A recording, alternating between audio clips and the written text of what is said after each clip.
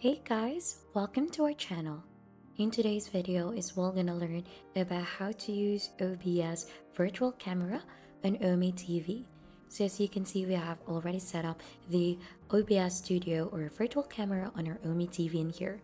And for you to be able to get started as well, to have your OBS studio like this. So this is a step-by-step -step guide for you. So the things to consider or the things that you need to have onto your device are these things. So you need to have OBS Studio installed first. So you could search OBS Studio onto your local browser and then download it. And also the certain file in here, which is the OBS Cam Registry Fixer.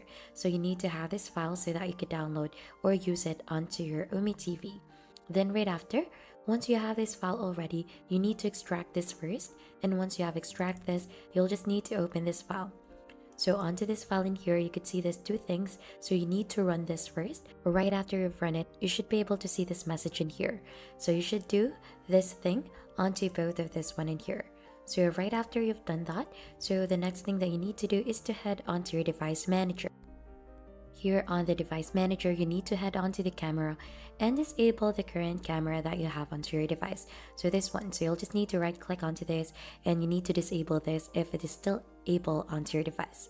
So right after that, you need to head onto the settings of your browser. Here on the settings, head onto privacy and security and then click onto site settings. Then you need to find the permissions in here and then click onto camera. So as you can see, we have this HD webcam C252. So you need to have this or click onto this since this is the camera that is set for your OBS studio.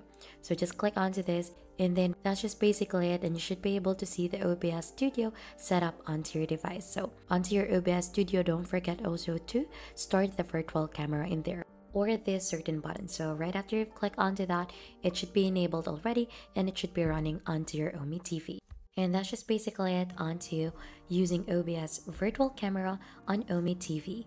And if you think this has been helpful, don't forget to hit the like, subscribe, and we'll see you on to our next video.